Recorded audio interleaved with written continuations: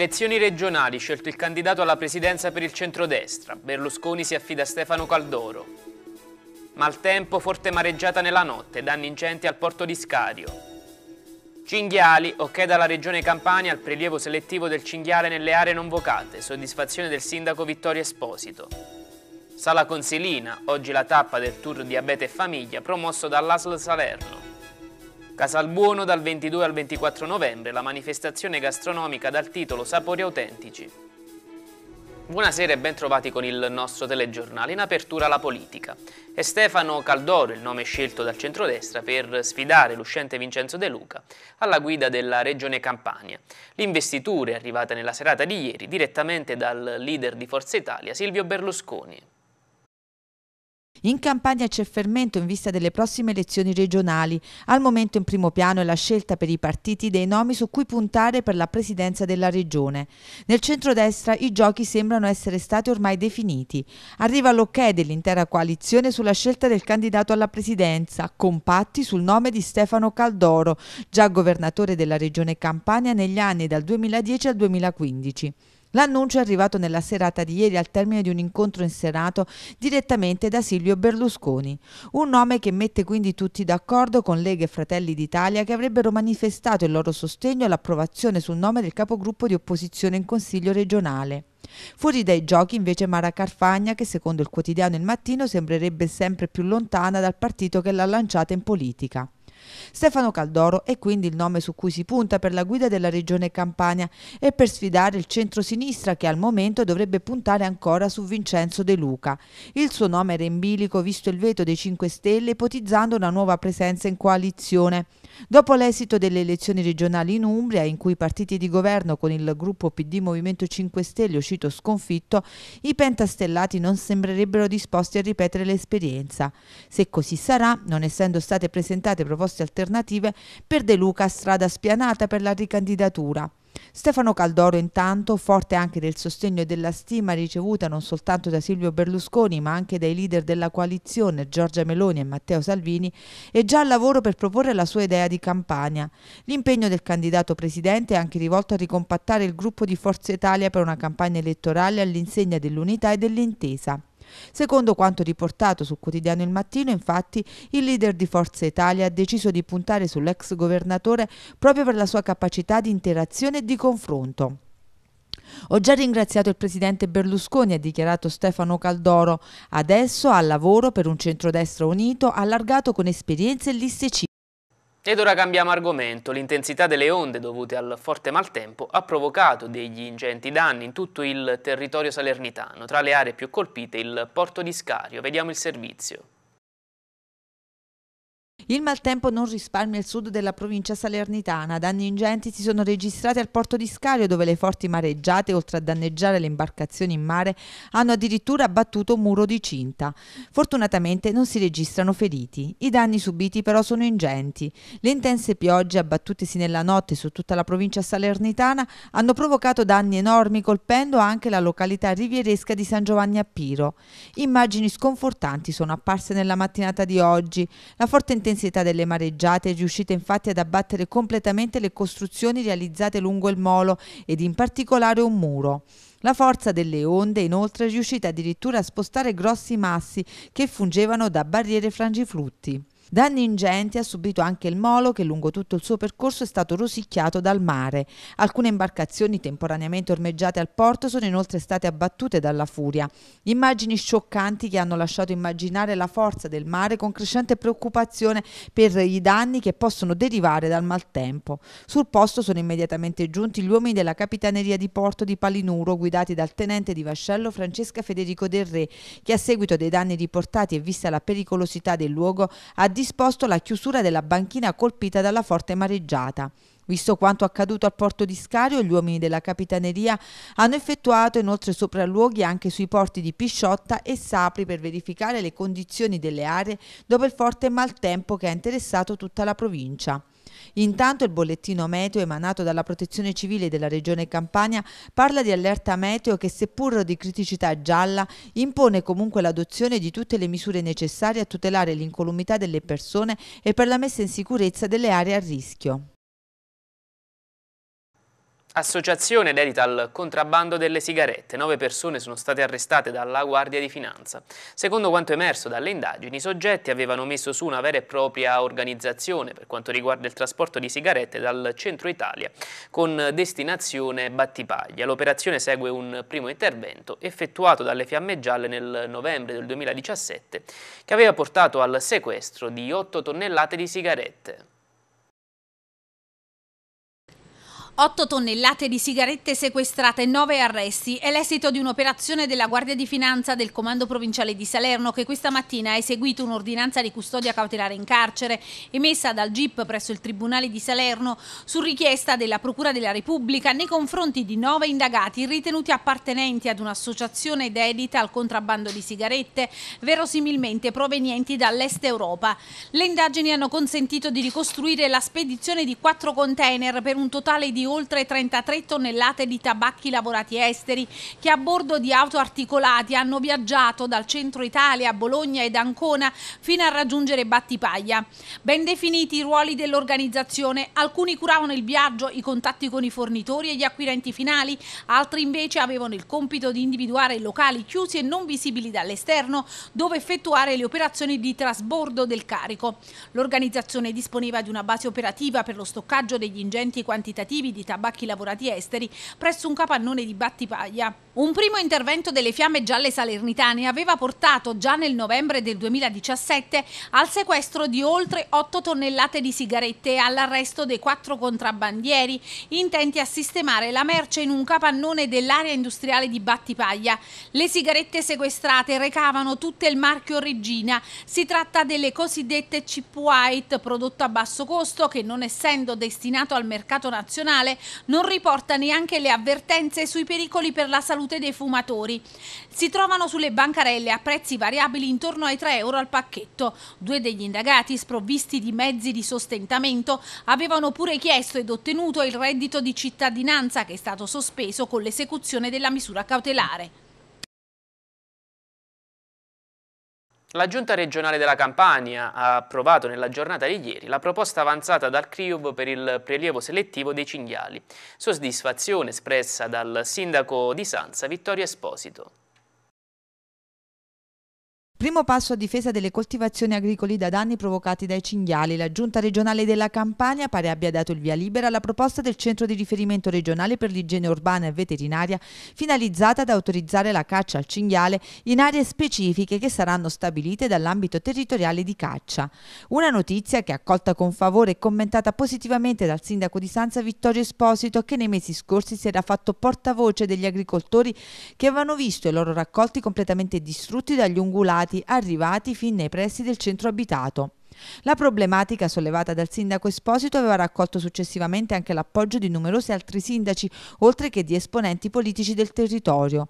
Ora si registra anche un passo avanti della regione Campania che con delibera di giunta nella serata di ieri ha dato il via libera alla proposta del CRUV che propone un programma di prelievo selettivo del cinghiale nelle aree non vocate della regione Campania. Una proposta che ha ricevuto l'ok anche dall'Istituto Superiore per la Protezione e la Ricerca Ambientale. Secondo quanto emerge, la proposta prevede praticamente la possibilità di poter cacciare i cinghiali durante tutto l'anno con metodi selettivi in aree che saranno individuate dagli ambiti territoriali di caccia. Un progetto che potrà così essere utile ad arginare il proliferare degli ungulati in determinati territori e che provocano ingenti danni alle coltivazioni. Un'ottima notizia, commenta Vittorio Esposito, che dimostra ancora una volta l'attenzione della Regione Campania e del governatore De Luca verso le problematiche manifestate dai territori delle aree interne. Era l'unica soluzione possibile, ha aggiunto il sindaco Esposito, l'apertura della caccia durante tutto l'anno per arginare l'emergenza causata dal proliferare degli ungulati. Ora che la caccia al cinghiale sarà consentita tutto l'anno nelle aree individuate dagli ambiti territoriali di caccia con metodi selettivi, siamo certi che nel breve periodo riusciremo a mettere sotto controllo il problema.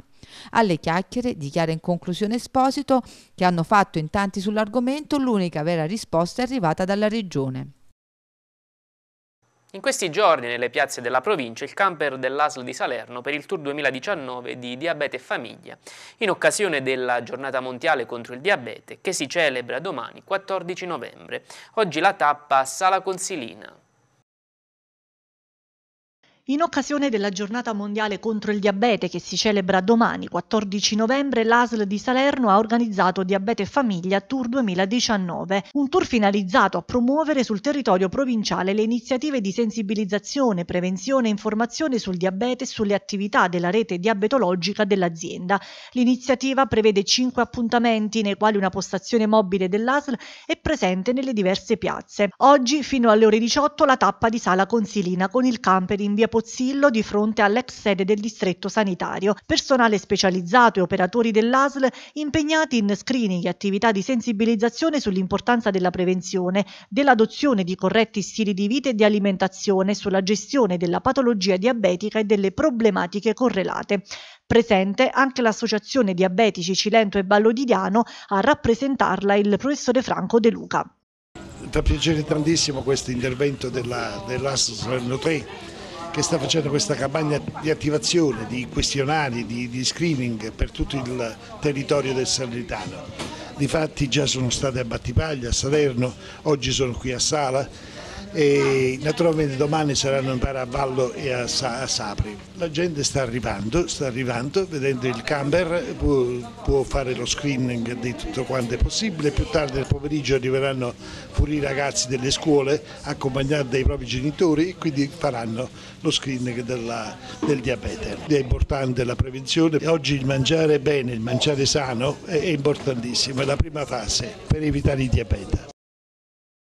Ed ora la cronaca giudiziaria. Ieri pomeriggio davanti al gruppo del Tribunale di Lagonegro si è discusso della capacità di intendere e di volere di Carol Lapenta, reo confesso dell'omicidio di Antonio Pascuzzo avvenuto a Buonabitacolo il 6 aprile del 2018. Di soggetto borderline ma capace di intendere e di volere hanno parlato i periti nominati dal Tribunale di Lagonegro e semi-infermità di mente invece il perito di parte.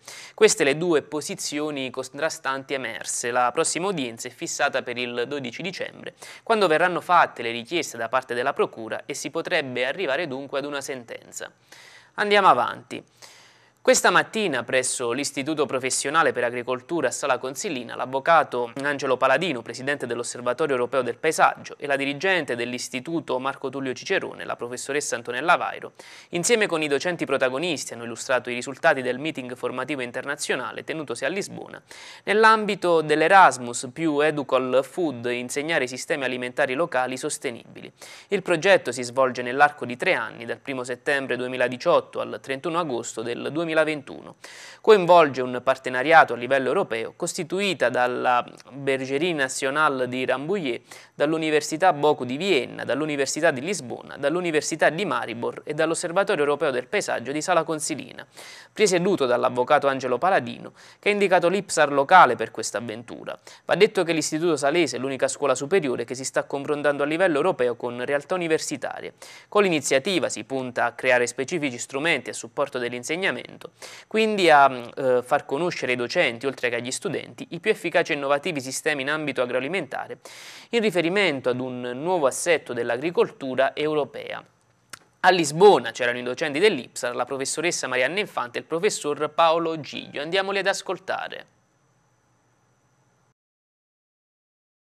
questo progetto si chiama progetto Erasmus Plus Educal Local Food ed appunto è un progetto che cerca di educare al cibo locale ed è destinato ai docenti. Due docenti dell'istituto, la professoressa Infante e, il professor Giglio, eh, sono stati a Lisbona eh, in questo meeting internazionale dove c'erano delegazioni francesi, austriache, eh, slovene e appunto portoghese e devo dire che per le notizie che mi hanno poi dato i partner internazionali eh, l'apporto italiano è stato rilevante, quindi un complimento ai docenti che hanno partecipato e a questo istituto, istituto per l'agricoltura che credo che per il Vallo Ediano è un punto di riferimento assoluto, sono tematiche che ormai sono nei programmi internazionali, nei programmi europei, sono finanziati ed è giusto che a questo istituto vada dato il merito che ha, le capacità che eh, gli vengono riconosciuti. È un invito anche alle famiglie e ai ragazzi ad attenzionare l'Istituto Agrario di Sala Consilina ed sceglierlo anche per la loro formazione.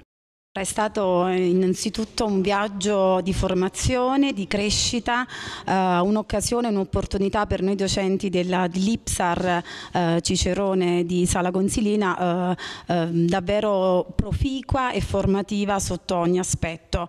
È stato appunto un meeting formativo che ci ha eh, come dire, fornito degli spunti necessari per poter ottimizzare e quindi migliorare anche le nostre abilità, le nostre competenze in classe perché eh, I contenuti eh, sono relativi al, al sistema alimentare ehm, locale sostenibile e quindi abbiamo come dire, messo a punto delle strategie efficaci e dei principi come dire, validi e ehm, adatti per la nostra utenza affinché potesse appunto rispondere adeguatamente a, appunto, ai contenuti eh, esposti inizialmente. Il secondo step che abbiamo condotto a Lisbona è stato estremamente proficuo, è stato un ulteriore passo in avanti rispetto alla messa a punto di metodologie didattiche condivise tra tutti i partner al fine di trasmettere sistemi locali sostenibili, quindi al fine di educare i nostri ragazzi al meglio sulle politiche della sostenibilità e sul consumo locale. Abbiamo messo a punto delle sequenze pedagogiche eh, che mh, consentivano a noi docenti, partendo da esperienze pratiche come ad esempio la degustazione di cibi locali, poter rinnestare i discorsi di tipo teorico e quindi andare a quella che è la tecnica produttiva, a quella che è la valorizzazione, la commercializzazione dei prodotti, facendo toccare con mano quindi ai ragazzi quelli che sono i prodotti locali. Domenica 17 settembre alle ore 18 all'Auditorium Comunale Giuseppe Amabile di Sant'Arsenio ci sarà un incontro promosso dal Comitato No Biometano. Non possiamo rimanere nel dubbio che i nostri terreni siano inquinati, dicono dal Comitato. Vogliamo delle risposte. Il Comitato quindi intende con questo incontro eh, diciamo, parlare alla luce dei fatti, della, dal, dei fatti, di cronaca ambientale che hanno riguardato il comune di Sant'Arsenio e intraprendere un confronto con i cittadini e le istituzioni che sono invitate ad intervenire, oltre che continuare in questo modo a mantenere vivo il dibattito con eh, la cittadinanza sulle questioni ambientali del paese e dell'intero comprensorio valdianese. Ed ora ci fermiamo per una breve pausa pubblicitaria, torniamo tra pochissimo con tutte le nostre notizie, a tra poco. Bentrovate alla seconda parte del nostro telegiornale. Il Consiglio Comunale di Eboli ha votato all'unanimità un documento sulla sanità ospedaliera locale con al centro l'ospedale cittadino, sollecitandone il potenziamento e chiedendo degli interventi urgenti per le criticità presenti. Vediamo. Un documento votato all'unanimità che sottolinea eccellenze e contemporaneamente chiede interventi urgenti per le criticità. Il Consiglio Comunale di Eboli ha licenziato una deliberazione sulla sanità ospedaliera cittadina che mette al centro l'ospedale sollecitandone il potenziamento e garantendo i livelli di assistenza necessari. Il Consiglio ha accolto le indicazioni del Presidente Fausto Vecchio che coordinando i lavori ha proposto una sintesi tra i documenti presentati nella seduta realizzando così un documento comune. E abbiamo voluto indicare l'urgenza di alcuni interventi, spiega il sindaco Massimo Cariello, ma anche sottolineare le nostre eccellenze e i risultati raggiunti come la realizzazione della rete oncologica. I risultati si raggiungono se si fa squadra, per questo ho voluto che il Consiglio votasse un documento condiviso, un atto con il quale si indica ai livelli sanitari regionali l'importanza del nostro ospedale, gli interventi immediati da realizzare e l'assistenza da garantire ai cittadini. Il documento si compone di diversi punti delegando il sindaco Cariello alla alla verifica della sua realizzazione presso Regione ed ASL Salerno. Abbiamo in sostanza, spiega Fausto Vecchio, chiesto di intervenire sulla carenza di personale mettendo mano al turnover. Il documento pone l'accento anche sulla necessità di nuove apparecchiature e sulla verifica del processo di edilizia sanitaria. Da Eboli si sollecita l'utilizzazione dei fondi per intervenire sul blocco operatorio, ma anche di mettere mano all'ampliamento di aree parcheggio e verificare l'iter per la realizzazione dell'ospedale unico pubblico, un programma ambizioso ma necessario che sarà prospettato a Regione ed ASL e sul quale vigileremo costantemente. Torniamo nel Vallo di Diano, domenica prossima, 17 novembre, la sedicesima edizione della manifestazione gastronomica Due castagne e un bicchiere di vino. Organizzata dalla Proloco di Sassano con il patrocinio del comune, si terrà presso il ristorante La Campagnola a Silla di Sassano. L'inizio è previsto per le ore 17 e durante la serata si potranno degustare dei prodotti tipici del periodo autunnale, quindi castagne, polenta, castagnaccio e vino novello. L'ingresso è libero e l'evento sarà lietato dalla partecipazione straordinaria di Totino Melillo. Andiamo avanti. Sabato 9 novembre, 9 novembre a Sicignano degli Alburni si è tenuto un seminario presso l'auditorium comunale e eh, quindi un convegno dal titolo Amministrare la comunità, la politica delle donne per il territorio, con diverse amministratrici, protagoniste a livello comunale e regionale. Il seminario è stato organizzato dall'associazione locale Arcobaleno insieme al Forum dei Giovani, il servizio. A Sicignano degli Alburni si è tenuto il confronto Amministrare le comunità, la politica delle donne per il territorio, un incontro che ha riunito intorno ad un tavolo le storie e le difficoltà di chi guida i comuni, dinanzi ad una platea numerosa con ben 25 comuni salernitani rappresentati da amministratori ed amministratrici. Dopo i saluti agli ospiti da parte del sindaco Ernesto Millerosa, l'incontro è stato moderato dalla giornalista Margherita Siani, che ha evidenziato alcuni dati significativi, i quali rappresentano la concreta presenza del problema e sono lo spunto che rendono questo tema di discussione non ideologico, ma vero e reale. In Italia le donne amministrano poco più di 10 milioni di abitanti. La presenza di genere infatti è di 1131 sindache rispetto ai 6783 sindaci che governano i comuni italiani. Solo soffermandoci nella regione Campania, su ben 550 comuni, le donne sindaco sono solo 27. La presenza di quest'ultime è maggiore solo nei comuni fino a 15.000 abitanti. Per quanto riguarda le giunte comunali con meno di 15.000 abitanti, solo negli ultimi anni, grazie all'effetto delle quote rosa che hanno imposto un equilibrio di genere, vediamo come la presenza di assessore sia nettamente aumentata. In Italia la parità nel lavoro è lontana, con una stima percentuale di uomini occupati di 20 punti maggiore rispetto alle donne. Anche dal punto di vista delle retribuzioni, a parità di condizioni, le donne lavorano gratis due mesi l'anno. In Europa vi è un differenziale retributivo del 16%, un divario che in provincia di Salerno raddoppia. Il freno è posto dagli ancestrali problemi legati al ruolo della donna e dalla scelta di essere colei che cede rispetto ai carichi e ai bisogni familiari. Durante il confronto le testimonianze sono state affidate alla sindaca di Salvitelle, Maria Antonietta Scelza, che si è soffermata sull'importanza di far sentire la propria voce, lavorando sodo quotidianamente, anche amministrando un piccolo centro. In seguito sono intervenute anche la sindaca di San Cipriano Picentino, Sonia Alfano, Anna Rosa Sessa, sindaca facente funzioni di Pagani, e la sindaca di Battipaglia, Cecilia Francese. Quest'ultime hanno raccontato le insidie che si celano nell'amministrazione di una città per poter dare le giuste risposte ai cittadini e dalle difficoltà che le donne incontrano in questo campo. La Presidente del Consiglio regionale, Rosetta D'Amelio, ha sottolineato come la Regione, anche per sua iniziativa, sia stata la prima in Italia ad aver introdotto la doppia preferenza, che ha portato in Consiglio da 2 a 12 le donne presenti, legge che tutt'oggi manca in alcune regioni italiane. Hanno preso parte al confronto anche Domenico Russo, Clemi De Maio, il presidente del Forum dei Giovani di Sicignano Giacomo Orco e Giovanna Pagnani, presidente quest'ultima dell'Associazione Arcobaleno, che ha sottolineato come anche un piccolo soggetto associativo può costruire opportunità per fornire gli strumenti adatti per superare le difficoltà di accesso al lavoro delle donne. Venerdì 15 novembre alle ore 20 presso l'Auditorium Comunale di Atena Lucana il primo Poetry Slam ufficiale organizzato dalla Proloquo Atena Nova. È una competizione in cui si ci sfida a colpi di poesie. Il Poetry Slam è una forma d'arte che viene dalla strada. Ogni slammer ha i suoi minuti a disposizione per stare davanti al pubblico e quindi recitare una sua poesia senza accompagnamenti musicali o alcuna scenografia. La giuria scelta in maniera casuale tra il pubblico decreta quindi il vincitore. E da venerdì 22 a domenica 24 novembre a Casalbuono si terrà la manifestazione gastronomica Sapori Autentici organizzata dalla Proloquo e dal Comune. Tre giorni di degustazioni, workshop e concorsi. Tre giorni di degustazioni e workshop a Casalbuono con sapori autentici, la manifestazione gastronomica organizzata dalla Proloco e dal Comune. Da venerdì 22 a domenica 24 novembre si susseguiranno una serie di appuntamenti con l'obiettivo di rilanciare prodotti tipici locali.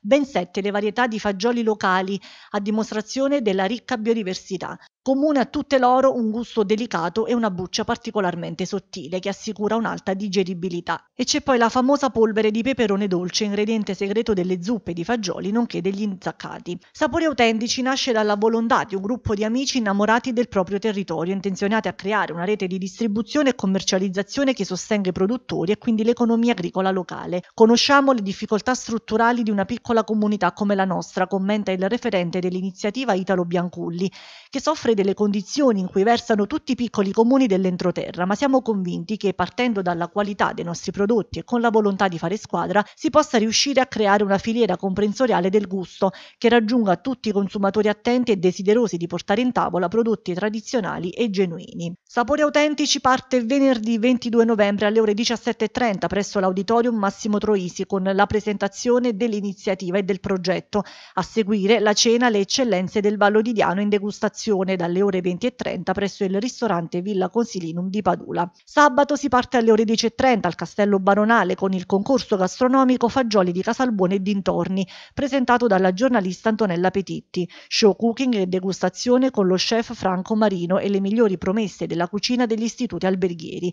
Alle ore 12.30 poi la premiazione. Infine, il 24 novembre al Centro Polifunzionale Locale Giovanni Paolo II il pranzo della domenica a cura della Proloco, una festa di comunità base di fagioli e altre eccellenze del territorio. E con questo servizio si conclude questa edizione serale del nostro telegiornale. Io vi ringrazio per l'attenzione e vi auguro un buon proseguimento di serata.